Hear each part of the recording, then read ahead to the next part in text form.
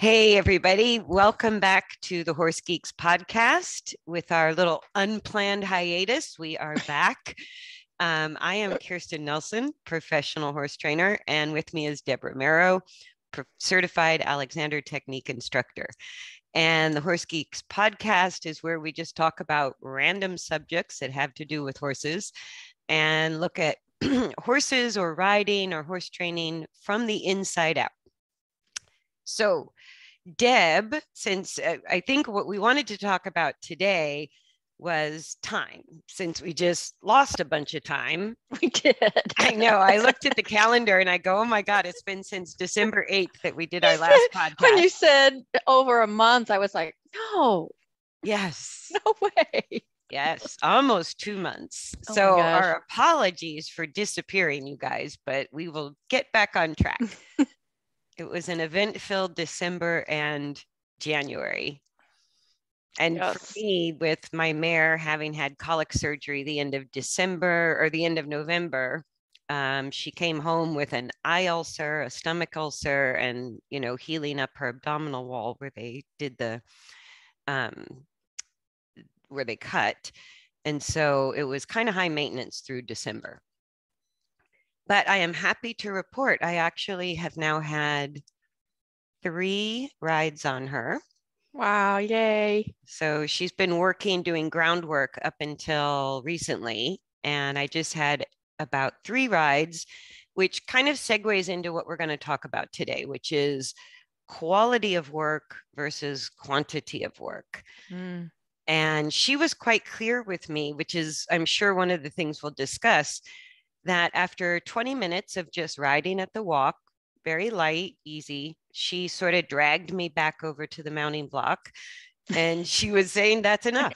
I'm done. I'm done. That was enough. So I kind of waited for that as long as she was willing to go forward and communicate with me and have a light, easy ride. We kept going. And right about the 20 minute mark, all three rides, she's like, okay, I'm going to just gently drag you towards the mounting block, which is my signal that we're done. That's funny that you uh, put it that way because it's interesting with my three. Um, yeah, when their time is up. That's yeah, how really, do you know when the horse is done? That's working? a really good point. and sometimes when you're riding, by, I'm usually riding by myself I don't have another set of eyes there to, you know, actually see what's going on. It's difficult sometimes to make the decision. Well, do I, some of the things that come up in my mind is do I, am I pushing too much?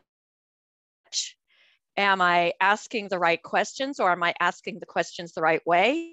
Mm. am I sending interference in my languge? Of communicating what I'm asking. So there's That's one way deep. that I use all the time to tell if I'm not working a horse hard enough. If I'm not working a horse hard enough, then their attention is all over the place. So, mm. horses that are distracted, that are constantly looking around, are sort of telling me that I'm not being provocative enough in what I'm asking them to do. So I'm not asking, I'm not challenging them enough mm. with their mm. internal coordination or the work at hand to really grab their attention and their focus. Once I have kind of the ears half back on me and the horses typically concentrating, like whatever signals, body language signals we get from the horse, it shows that they're concentrating, which for me is at least one ear back on me and a little bit of calming of the energy. They don't have to be 100% relaxed, but they're not escalating the energy. They're sort of de-escalating the energy. It's it's coming down a little bit, which tells me that they're concentrating more. And especially as I'm having these conversations internally, sorry, I forgot to turn my phone off. As I'm having these conversations in, internally with how the horse is using themselves, that usually keeps their focus no matter the environment I'm working in. I agree with that. I agree because you know my big mare Callie used we used to call her airs above the ground because you could never get her to focus. And I think I mentioned this before. One day I'm out there and we're just really communicating really well we, with each other. And the UPS truck comes driving down the road. The dogs are running after the truck, barking. She didn't even flinch. She was like, "Nope, I'm I'm here with you. I'm focused, and let's just get down to business." Yes. Uh, so if I'm not uh, getting the horses, point. yeah, if I'm not getting the horses' attention, I can do things like more rapid transitions, more changes of direction, ask for something more specific. But I want to look for that place where the horse shuts out the environment and starts to concentrate on our conversation or internally with what they're doing. So that's on the side of uh, finding enough work or enough challenge. Mm-hmm. And then I think your question, what was it you said? About how do I know when I've worked too long or if I've asked too much? Uh, if I've asked too much, um, or you know, I have I have a bunch of questions around that, but we can work on that one for now. Yeah, I mean, certainly a physical. Um, I don't know what is too much, or am I communicating properly? Am, does the horse just not understand what I'm asking? That could be. I mean, that's part of the dialogue that to me doesn't really tell me if it only tells me if I'm being provocative enough, challenging enough. Right. Right. If I'm not, then they'll shut off that conversation and just get distracted or derailed. Um, but asking, wondering if there's, if we're doing too much is a really good question. And it took me years to recognize what now I I recognize quite quickly as when the horse is kind of done. And it took a long time because everybody, when we get on and ride, we're going to start off with a cold horse. So we have our warm up phase, mm-hmm. which, when it comes to the horse's balance and use, during that warm up phase is where we're going to feel the strongest forces like the strongest resistances, the most amount of distraction, the all of the biggest problems are usually in the first 5, 10, 15 minutes that we call our warm up. so I want to find a warm up that gets the horse's attention on me. And then as I go through the ride, if I'm kind of on target with where the horse is learning or where we're working, then as I go through the ride, the forces that I feel through the reins or my seat or the legs become less. So the horse isn't as heavy. It, it, becomes more responsive to whether it's my seat, my leg, or my rein. They become lighter to the aids, not necessarily light, but lighter than where we started in the warm up. And that tells me, okay, we're getting into the work. So for me, it's all the feel of it. And what I'm looking for, if I'm working on balance, is that the forces or the feel uh, heavy or light of the horse losing steering or falling on the bit or something like that, that those, the horse becomes more responsive and lighter and the saddle becomes steadier. So I feel the whole horse go from sort of falling left or right, going too fast, going too slow, these mm. sort of big exaggerated forces yes. during the warm up, those forces become more subtle, more organized, and the movement becomes much steadier as I go through the ride. So then I know once I've passed the point of productivity, I start to feel the forces related to the imbalance. So the, the responsiveness to my leg, my seat, my reins becomes heavy again. Ah, okay. And the horse, the movement under the saddle starts to become less stable. Does that make sense? Yeah. Um, and it's interesting. I'm trying to think of all three of mine that that I'm working and it's it's different with each one. Yes. So, like I look at as to ride, how much time that is. Yes, it's a it has nothing to do with time on the clock. It yeah, has... I I get I hear a lot of people getting stuck on that. Um, you know, I've got an hour, so I've got to use the entire hour or whatever. Yeah. And and then I look at me with what I've got going on and I sometimes feel guilty because I only have 30 minutes per horse, having three horses that I have to work. Um, or, you know, does it, this thing we think it has to be an hour, five days a week, or, you know, all of those thoughts that go through the human's mind of uh, our time, which they're not on our time whatsoever. No, and the body is constantly changing and adapting. So the amount of minutes we work with the horse has a lot to do with what's going on in the environment, the weather, the physical condition of the horse, how regularly they're worked or not worked, their age. It, there's a lot of factors that go into how long can they work in a way that you're improving the movement mm. and not working so long that you're fatiguing the body and starting to get back into patterns of compensation or struggle right? So that window of time is unique to each horse. And I would rather, like every ride I have, or even groundwork with a horse, I'm going to start off during the warm up phase with sort of the greatest amount of errors, mistakes, mm-hmm. and struggle, right? That's where we start. So then, as I get through the warm up phase into something more productive, I feel the ease. The horse is lighter to my aids, more responsive. The forces when they lose their balance or lose steering or lose the speed control or fall on the bit, they're just not as heavy. They're lighter. And the saddle is getting steadier and steadier. The whole movement of the horse is getting steadier. So if I only have 10 or 20 minutes, I'm still going in and working through old habitual patterns in the warm up and maybe beginning to build a better coordination in the horse.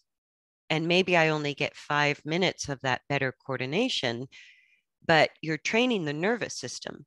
So to me, if I only have a limited amount of time, my goal is to get through the warm up into that improvement as rapidly as possible, which is just the path of least resistance, not necessarily becoming stronger as a rider but finding the path of least resistance for the horse to make an improvement. And then if I run out of time while the horse is still on that sort of upward trajectory of getting better during the ride, there's nothing wrong with that. It's better to end on a good note and sort of leave the horse in a way that they were interested in the work, they were feeling better, they're curious, and then they look forward to the next session. I agree with that. Yeah, I agree. And I, I like the way you put it that you you have a little struggle in your warm up and for me it, for it's and what did you say oh the path of least resistance in your warm up that's what i really like because for one horse it might if, if if you've got one of my horses likes to go out like a bullet so instead of trying to say whoa whoa whoa it's kind of like working with a two year old kid. Can I just distract maybe by using a lot of turns or something and, yeah. and like finding the path of least resistance um, to get to the good stuff. I really like that's a that's great. I love yeah, that. there's horses that are very forward and have a hard time slowing down, and their warm up might be a loose rein at the trot figure eights, turns, right. changes, just an easy rising trot, and let that energy sort of work itself out before, and then they're able to concentrate. Right. Yes. So you, you can give minimal direction. Some horses, oh my God, you know, they barely get the handbrake off and they start off so slow. So warming them up in the walk is a better idea, right? Where a horse that's sort of forward going, and there's no reason that you can't warm up in the canter, whether it's groundwork or riding. The canter is a very good warm up because the pelvis rotates forward naturally the most in canter. Mm-hmm. So for some horses, to rotate that pelvis forward and sort of pull on the back muscles is the best warm up. And I refer to it like letting the kids out of the classroom into the playground. yeah. Let them get all that stuff out before you start work. Absolutely. They might need a little bit of recess or a little bit of venting before they're ready to concentrate. And that could be the warm up. Absolutely. Yeah, I know sometime I've actually gotten off one of my horses and because I couldn't find the path of least resistance and thought, well, maybe we just need to do groundwork to warm up. That could be. And again, some horses will do better and go through a warm up or make improvements faster without weight on their back, depending on their current condition. And other horses will do better with weight on their back. And so, if we can't find that path of least resistance in the saddle, going back to groundwork or knowing this horse just has to be warmed up on the ground first, either for safety reasons right. or it's just physically the path of least resistance for that horse to kind of work the kinks out and start to be able to not only concentrate, but maybe work through tight muscles, maybe um, warm up in a way where their back is chronically tight and they need time without weight on it to really warm up the back muscles. So there's no right or wrong way to go about it. We get to know our horse. But as far as if I'm limited on time, I actually make more progress working horses for short periods of time more frequently than having long periods of time where the horse gets fatigued during the session and starts to either outmaneuver the rider right or find patterns of compensation because they've fatigued the muscles that you're trying to work yeah i think sometimes we forget when we're um, asking them these intense questions that if we're changing something uh, the way they're moving they could have fatigue because they haven't used those muscles properly before. Absolutely.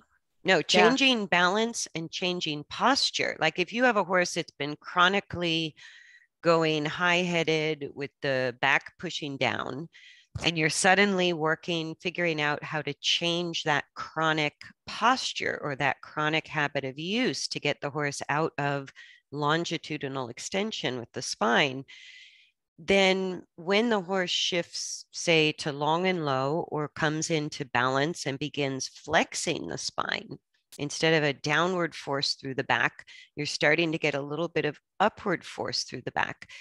That's very different muscle use for the horse. So that horse in the early stages might fatigue really quickly. And recognizing fatigue, that's when we go, okay, we know we're done that's all that's the best i'm going to get out of this horse today. So whether i have you know fulfilled the hour that i had scheduled to me it's not worth it anymore because i'm not going to get anything productive once the horse is fatigued in the way i want them to use themselves how how would you kind of know that? Because you talked about in the beginning it's a little rough and we want the path of least resistance to get to the good stuff.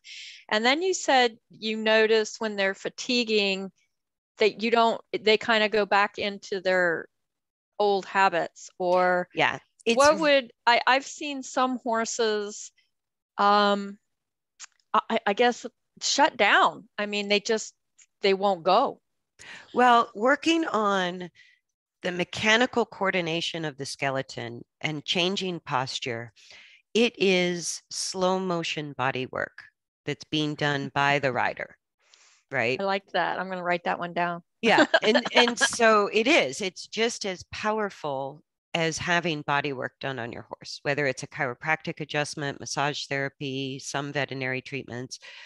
And so that change can be horses can get very fatigued from what seems like light work because the, the mm-hmm. muscles used in a new posture or a new mechanical coordination they might be very weak.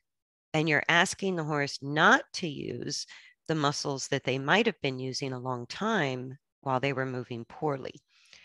So, in every ride, like let's say I have an hour, my warm up is where I'm going to experience the most amount of struggle right? So I'm looking for the path of re- least resistance to get through the struggle. How do I know struggle? The saddle is unstable. I have, you know, the horse with kind of big, strong forces on the reins, mm-hmm. against yes. my legs, on my seat. It's big, it's strong, it's obvious. It's all big, big, sloppy stuff, is and, what I call it. It's yeah. messy and big messy. mistakes big like mistakes veering off course right blowing through your leg or rein big mistakes yeah. so then when i find the path of least resistance and i start to improve the use of the body which is the balance i feel those big mistakes become less intense right so the frequency of my aids or my conversation between my contacts and aids that frequency might become quicker but the forces that I'm contending with are lighter. And I'm feeling more ease in the movement. So the saddle is more stable, easier to guide the horse, easier to stay on my path of travel or make speed adjustments or transitions. So as long as that's getting easier and easier and easier, the horse is still working in the new coordination comfortably. Then at a certain point, and this took me years to recognize fatigue, is when that starts to go back the other direction towards the warm up. So from the warm up, okay. you start off with the problems and you go upward to easy, easy, easy, easy, easy. And then at a certain point, you hit a peak and it starts to go back down with an increase of mistakes, stronger forces, stronger corrections, bigger mistakes, more struggle, less stability in the saddle. So as soon as I get that feeling in a ride, I just know the horse is fatigued. And and they've done the work I've asked them to do. That could be it, it, you know at the 20 minute mark of my ride or the 30 or 40 or 45 or maybe they last a whole hour and at the 60 minute mark I'm out of time but they've been getting smoother more responsive, more stable the entire ride. Then that was very productive. Do you ever work. see do you ever see any kind of, of column come out say when they've had enough? You broke up a little bit. Can you say that again? When do you see sometimes any personality type traits that come up when you're pushing them or they're done you know like like my callie will blow you know she'll just start snorting and blowing like i've had enough of this. Yeah I'm done you can, you can get other signs like if that feeling as a rider is subtle or unclear there's a lot of signs the horses will give us. Like my mare blowing through my leg, dragging me back to the mounting block. That's her very clear sign that she's fatigued and we're done, right? You can have bit chomping, mouthy activity. You can see an increase of struggle rather than the mouth getting quieter, right? Uh, right? So uh, in a warm up, a horse with a busy mouth might start off busy, but if you're really changing the balance positively, the mouth will become quieter and quieter. And then when it becomes busy again, they're starting to, that's a sign of struggle to me. Same thing if they start losing steering, going too fast and having a harder time slowing down, or going too slow and having a harder time speeding up. One of the things a lot of them will do in this type of work is they'll just stop and put their head down, and their ears will be back. They'll be very quiet but it's like the nervous system is sort of processing these changes in the body that they just did and there's a delay like there's kind of a catch up moment and yeah. a lot of them will do it they'll just start stopping and they have like sort of a sleepy look on their face they're not yeah. distracted yes. not stopping and looking around they're right. stopping and they're deeply kind of internal internally focused And I've seen that with people with the Alexander work. You know, when the central nervous system starts to get coordinated and organized, there's like a aha moment. Yeah, of, and of processing. It's just a, they're processing is what their people are doing. Yes, that's exactly what horses are doing. And I felt that in Alexander lessons with me, where there was some substantial change in my coordination. And I felt like I could just go face first, smack on the floor and fall asleep and take a nap. Like it yeah. was just overwhelmingly tiring. And that's a nervous system fatigue, not necessarily a physical muscle fatigue. But but that's when the horse starts stopping and really wanting to go to that deep, thoughtful place, that's another sign that you're kind of done. Yeah. Okay. And I just go, I've run out of horse for the day. He doesn't have anything left. So I'm done. Right.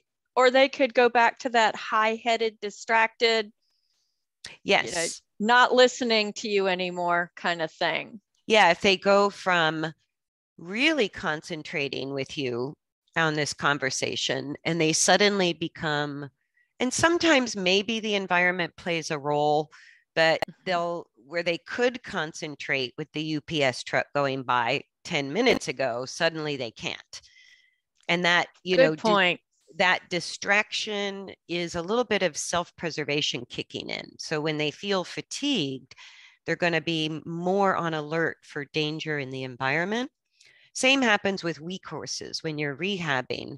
A lot of people think it's just, you know, the horse has no ability to concentrate.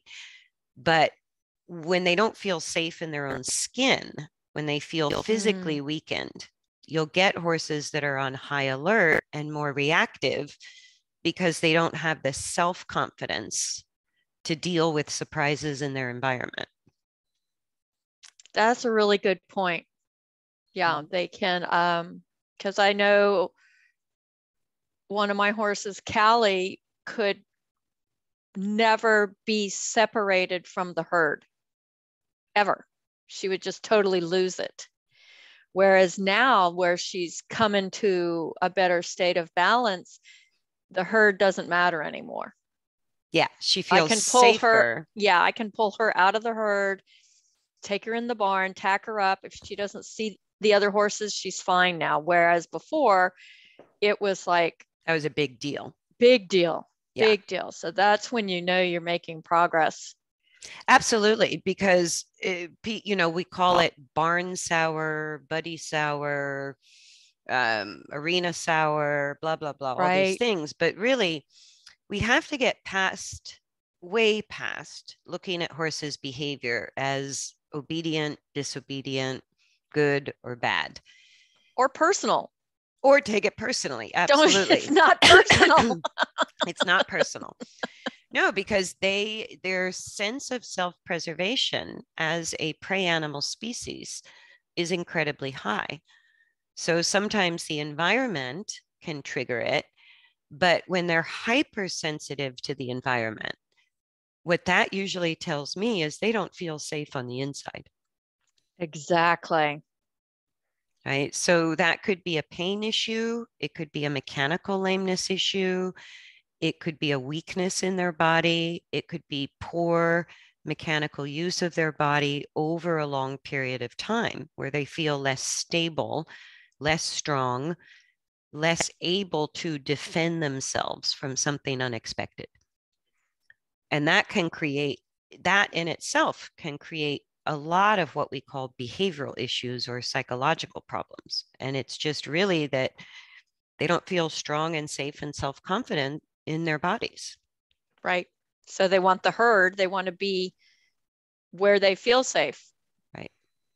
So every behavior, good or bad, wanted or unwanted by the human, is just the horse talking to us right exactly. they're just they're just telling us what they think and they're pretty honest and they're pretty brutally honest right so that old adage uh, a horse will buck off a king as quick as a groom like, i've never heard that one they don't give a shit who you are they're going to tell you how they feel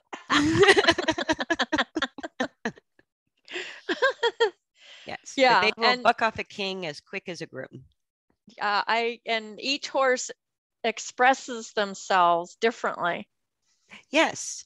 So I think it's like if the horse expresses its its struggle or discomfort or even like a mental sort of struggle to understand what the rider wants, Mm, they could be busy in the mouth. Right? So it's the first thing people do. Use a drop noseband or a flash. Keep that mouth quiet. But it doesn't address the underlying issue or ask it doesn't even ask the question why is the horse struggling and expressing struggle through the use of the mouth. And that could be with the tongue going out. So then, if the flash doesn't work or we don't like flashes, we start selecting different bits. We go bit shopping, And we go- we go bridle shopping, right? Because we're so focused that the problem, because it's there that the problem is local yeah, because it's being global. expressed by the mouth. Right. I think the problem must be the mouth. And I go, no, the mouth can be expressing poor use of the back. The mouth could be expressing arthritis in the hocks or the stifles. It's just an expression of struggle. There's nothing good or bad. And actually, my same mare years ago, you know, you we you and I have learned by being the person who made all those mistakes. Right? Yeah. So my little Arabian mare, who, you know, the colic surgery, and I've had her for 28 years, she was horrible. She was one of those busy, busy, busy mouthed horses, sticking her tongue out, acting like I was killing her if I took a rein contact. And I did the same thing. I bought about, I don't know, 20 or 30 different bits, went through two or three different dentists, you know, looked at doing everything, tried everything.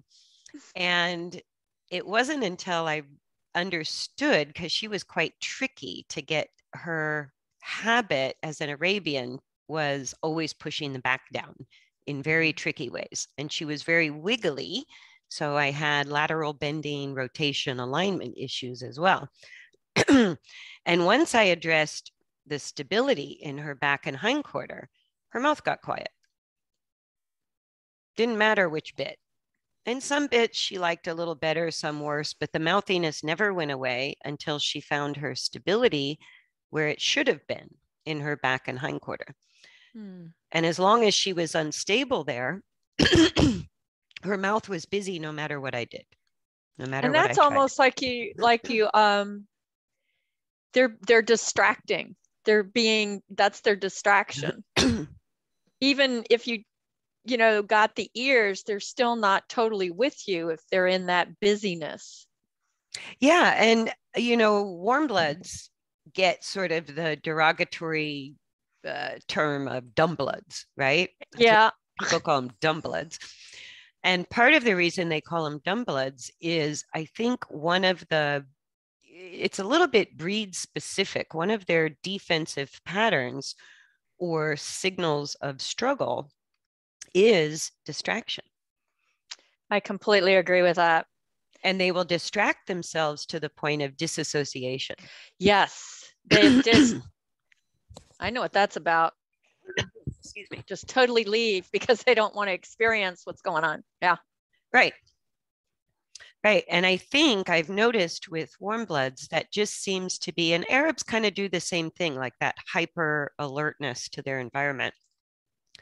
But that distraction can be a sign that they don't feel safe or that they're struggling with what you're asking them to do.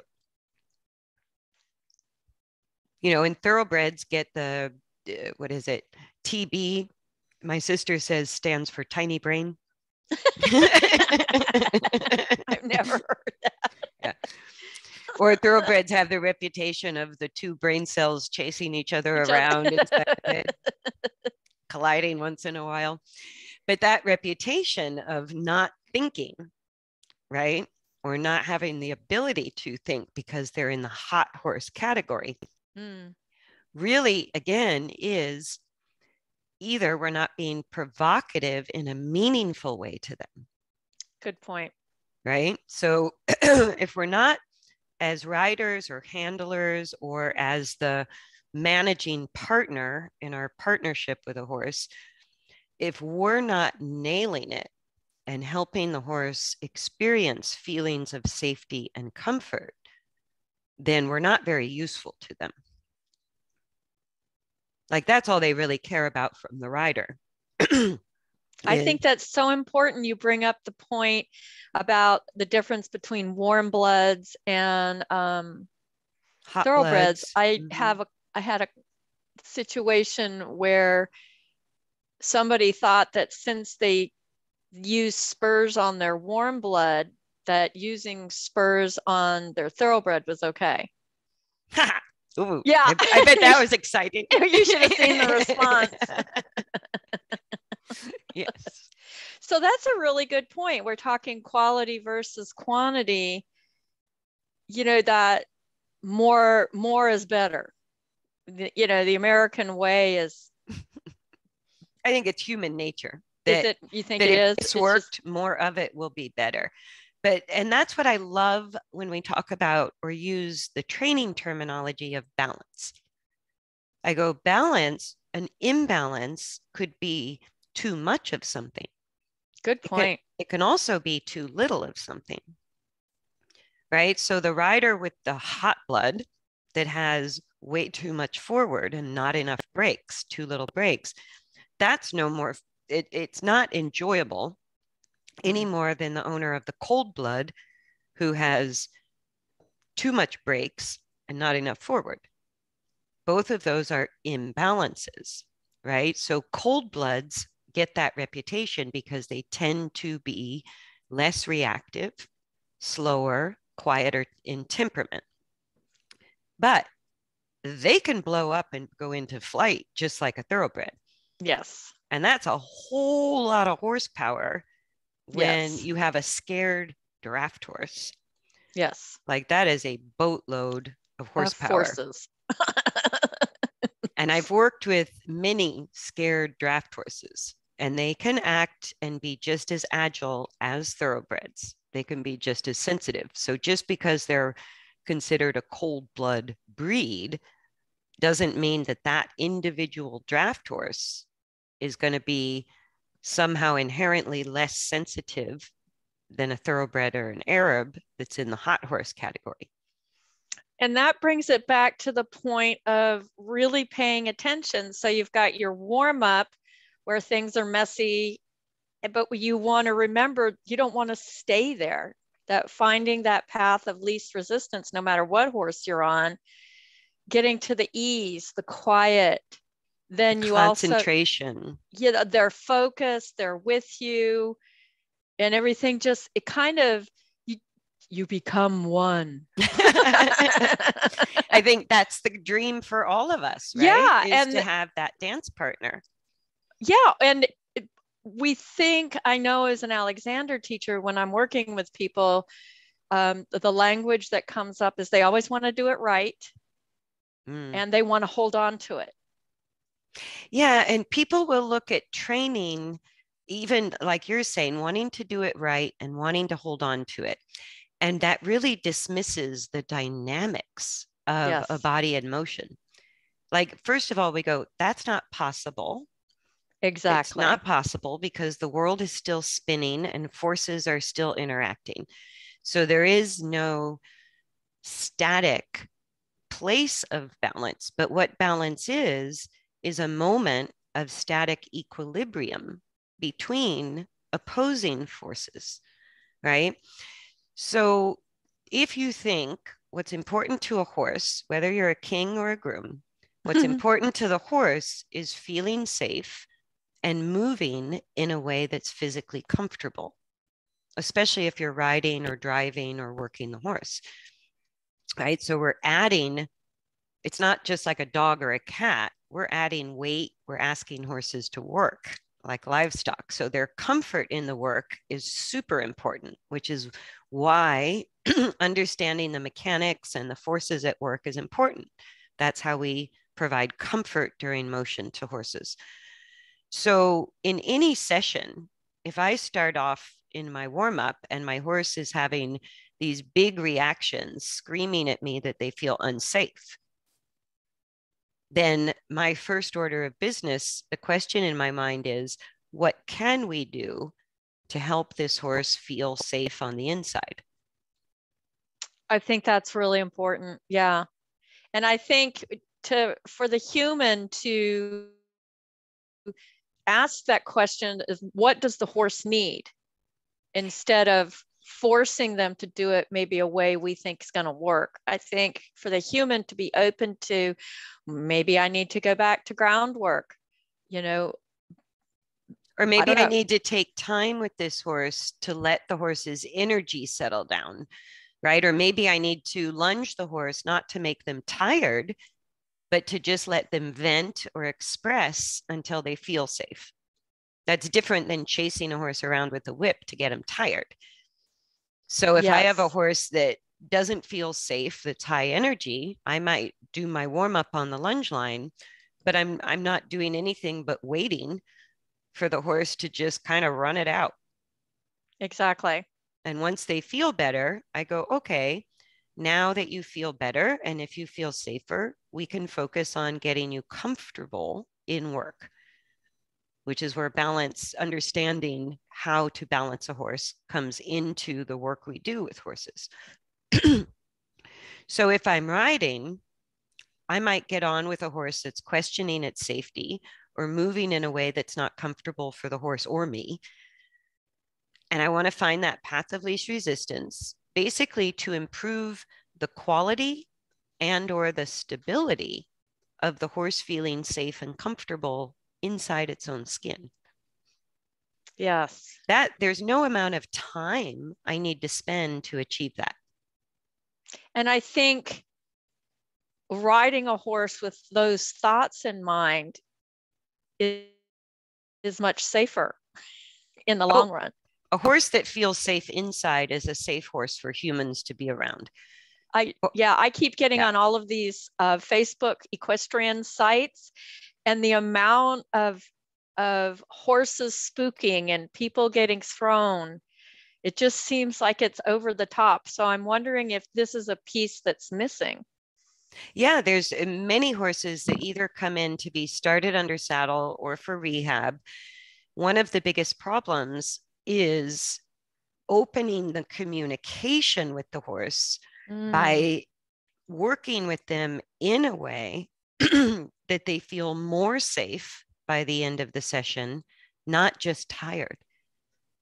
And a lot of ah. times, ah. like take a horse, say, a horse that doesn't want to move, it's uncomfortable in movement, a lame horse that needs rehab. You can't run them around on a lunge line or do mm-hmm. groundwork to get them to release pent up energy, right? But what we can do is play focus games, right? or begin a conversation in a more controlled walk or something on the ground that just gets the horse's attention to us and allows that anxious or, or, or tension energy to dissipate. Right. So we can get the horse to focus on us. We can get the horse to focus on something specific. We can channel that mental energy to spend some of the emotional energy. So it doesn't always mean run the horse around until they're tired because and there's certain breeds, a lot of gaited horses and eh, or hot-blooded horses, the more you run them around, the more jacked up they get. I was going to share that too. Yeah. Or that if they get into that state they and stay there too long, I don't think they feel safe. Exactly. You're not they're not creating they need some intervention to say, "Hey, you know, let's try this or try this." To right. see if we can redirect into a positive, like you said, find that path of least resistance. Um, and what I described about the horse sort of either expressing behavior or getting shaky in their movement or starting to have bigger corrections towards the end of a ride, that's the physical comfort signal that they're fatigued and we're done. Yeah. But the safety comfort or safety signals would be if I can't get the horse's attention on me, if I, you know, if they're high headed with tension or anxiety and their attention is everywhere but on me, and the energy level is high, that's the horse screaming at me that they don't feel safe. And that's not a horse I want to get on. I don't know about you, but that wouldn't be my first choice. I get hired to get on horses like that a lot. I know I you go, do. it's it doesn't help the horse any more than it's safe for the rider. What helps the horse, even if you are getting on, you could walk them around first, you could spend time at the mounting block, you could just redirect their attention to say, hey, can we have a conversation? Can you put invisible yes. blinkers on and just focus on me? And a lot of times that will help them settle down enough and reduce the energy that then it's safe to work on comfort or, or they feel safe enough that they can focus on comfort. That's a really good point. Can we have a conversation instead of it just being us giving orders? Yeah. Yeah, the conversation happens important. through what we call our aids and our contacts. Right. So an aid, a leg aid, a seat aid, a rein aid is when we're talking we're actively increasing forces to give direction or resistance to what the horse is doing. Ask for something specific. But people forget a contact, which is just a physical touch with our seat, mm. our legs, and our reins, is where we're listening. Listening. Listening. So, like horses that won't slow down, people have a constant rein aid holding them back. Mm-hmm. There's no rein contact. So there's no listening. It's all talking. And so pretty soon the horse just goes, you know, la, la, la, la, la. I'm not exactly. listening anymore. Disassociate. right. Or just ignore it, get used to the bit leverage. And the same happens with the leg aids for horses that don't want to go forward. The rider can be banging away with the legs or go to spurs or too hard, you know, too constant with the leg aid, which could be the whip or the spurs or whatever they use. But that constant driving, or even the scooching of the seat as a forward aid, that constant aid, there's there's no room for listening. There's Good no point. more there's no more contact because there's never a quietness where through our contacts, our soft tissues sense the forces and the directions of force. That's how we feel the energy and the balance and the mechanical use of the horse's body. So if we're just constantly giving aids, we're always talking and not listening. That's a really good point. Yeah.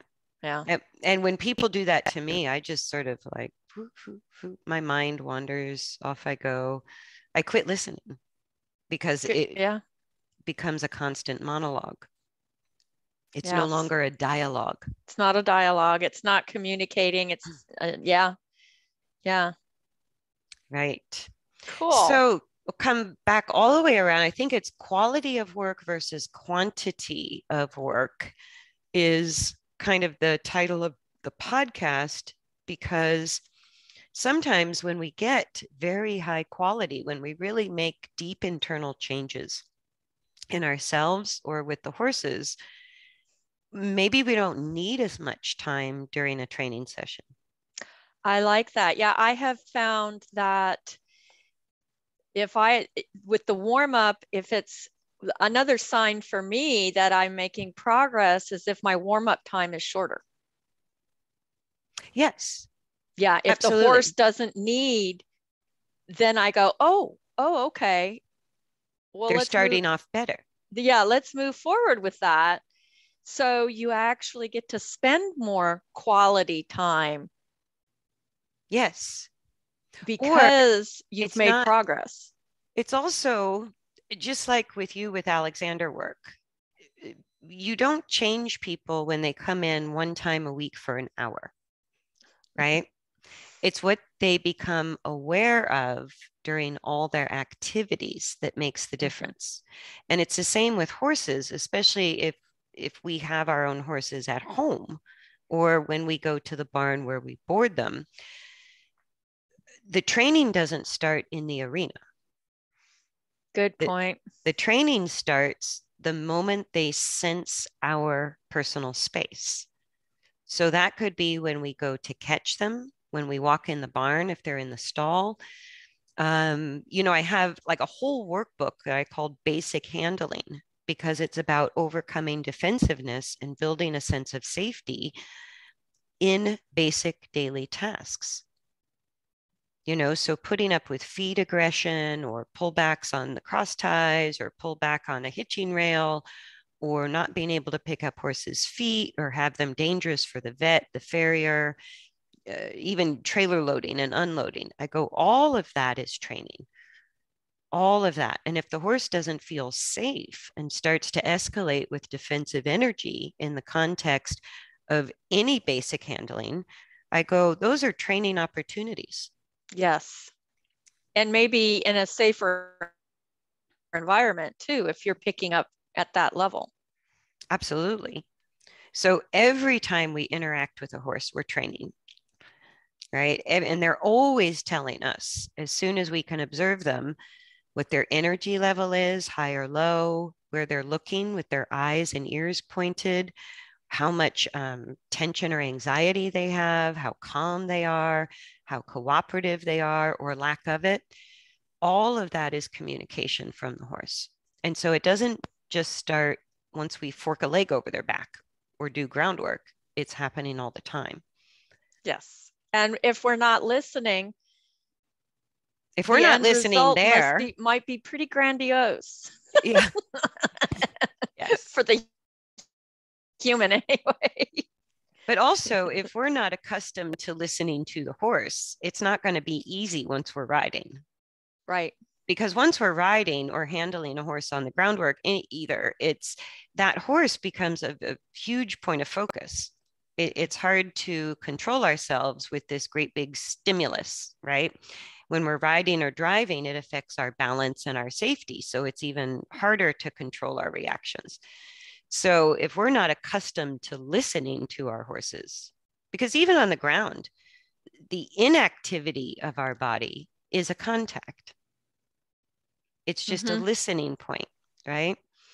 So we can do that from the moment we show up, and then we're more used to it in the context of building a conversation with our horse as a rider. And I think that's what's really helped me is the Alexander work because if what if you know the the rider doesn't feel comfortable in their own body exactly it's the same for the horse. Right. No, and during cold weather and bad times a year, like now, when we yeah, can't really. ride, there's all of that self control over our own like mental focus, emotional state, or our own body use, which is where working with an Alexander technique instructor is hugely helpful for the riding because that body awareness is what leads to the self control that improves our aids and contacts improves our balance in the saddle. And so, and it's something we work on all the time, not just when we're riding or when we're at a lesson, or even for people like we think we have to go to the gym to work out.